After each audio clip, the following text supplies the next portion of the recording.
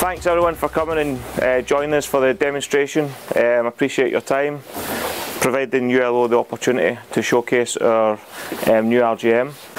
We guarantee our output of our machine will give you 120 cubic metres an hour. In comparison to industry standard of 20 cube, 30 cubic metres an hour. So that's a significant change of service that you guys will be receiving um, from ULO. We're very comfortable. We've done uh, development trials with a material supplier. We will be mixing the 9600, Masterflow 9600 today. Okay, that's what we'll be mixing and pumping.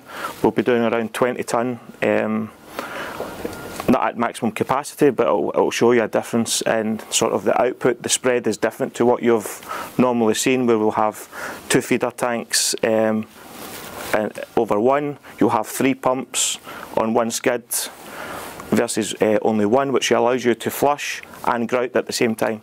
All right. So what, what we're trying to make, we're just trying to give you guys, our customers, a significant difference and a cost saving over your projects, all right? Because that's where we see where we can make a difference in the industry.